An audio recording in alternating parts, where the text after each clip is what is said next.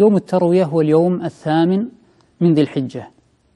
سمي بذلك لأن الحجاج فيما سلف كانوا يتروون الماء لما بعده لعرفة ولمزدلفة.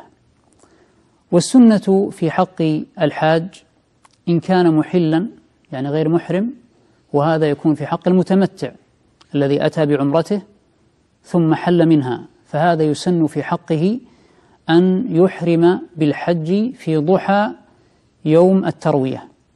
قبيل الزوال. كما فعل الصحابة رضي الله تعالى عنهم وأرضاهم الذين حجوا مع النبي صلى الله عليه وسلم.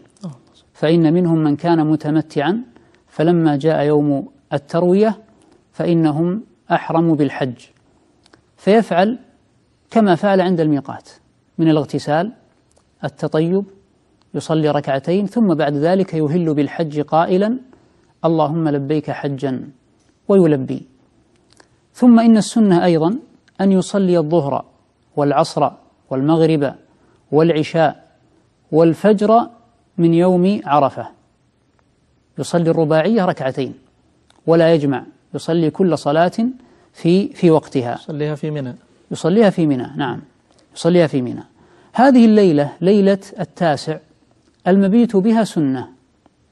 بإجماع أهل العلم. المبيت في منى. المبيت بمنى ليلة التاسع. لو تركه الحاج لا حرج عليه لكن السنة أن أن يبيت بها تلك الليلة. هذا باختصار ما يتعلق بهدي النبي صلى الله عليه وسلم فيما في يوم التروية